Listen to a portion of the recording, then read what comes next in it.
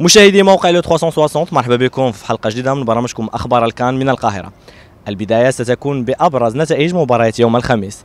منتخب مدغشقر يتغلب على نظيرها البورندي بهدف دون رد والسنغال تنهزم أمام الجزائر بهدف لا شيء بينما تغلب المنتخب الكيني على منتخب تنزانيا بثلاثة أهداف مقابل اثنين. أما بخصوص أبرز أخبار الكان فقد حقق منتخب مدغشقر أول فوز له في تاريخه في كأس إفريقيا بتغلبه على بوروندي بهدف دون رد. في المباراة التي أقيمت يوم أمس في ملعب الإسكندرية برسم الجولة الثانية للمجموعة الثانية.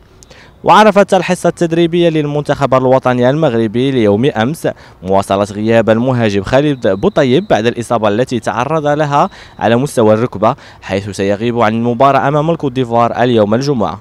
وأكد الناخب الوطني هيرفي رونار في الندوة الصحفية التي تسبق المباراة أن منتخب مصر لا يحتاج إلى خدماته حيث يمتلك مدربا كبيرا وهو خافير أجيري كما أن تركيزه كله منصب على المنتخب الوطني المغربي فقط. ومن جهة أخرى تلقى منتخب تونس ضربة موجعة بعد تعرض يوسف مساكني لإصابة في الركبة تهدده بالغياب عن لقاء مالي وهو الأمر الذي أثار قلق مشجعي تونس قبل مباراة اليوم.